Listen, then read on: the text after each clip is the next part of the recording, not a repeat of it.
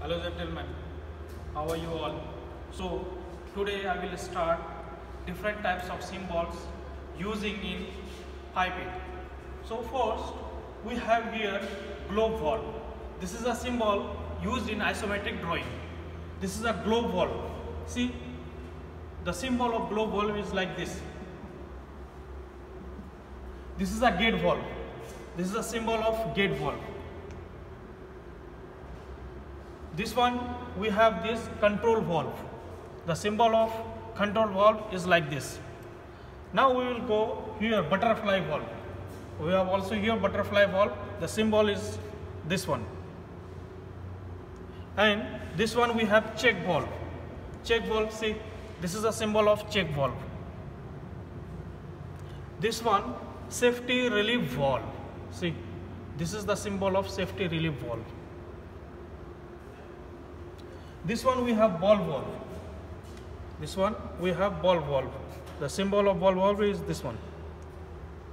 This one we have needle valve.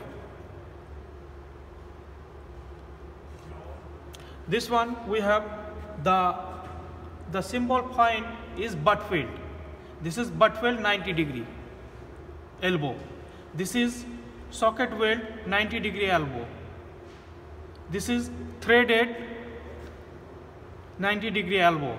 This is butt weld and cap. Now here we have diaphragm valve. The, this symbol is for diaphragm valve. And this one is plug valve. This is a symbol of plug valve. Now we have here also, this is a symbol of butt weld 45 degree elbow. See, you can check here. This one is a symbol of socket weld 45 degree elbow. This one is a symbol of threaded 45 degree elbow. This one butt weld concentric reducer. This one butt weld eccentric reducer. Now we have here, this one is a symbol of equal tee.